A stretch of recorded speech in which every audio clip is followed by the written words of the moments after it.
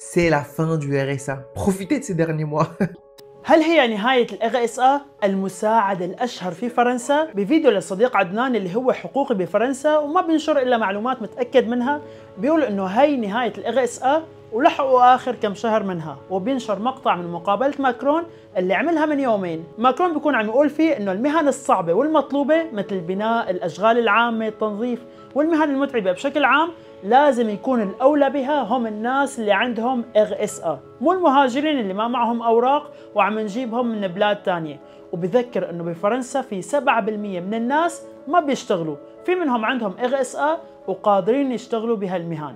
فهدول الناس ماكرون بده يأهلهم ليملؤوها وبيحكي إنه هذا هو الهدف من France Travail يلي بدها تبلش ب 2024 وتعوض ال Pôle emploi ولا تنسوا إنه عم يسعى لشرط الحصول على ال RSA بنشاط أسبوعي من 15 ل 20 ساعة كمان.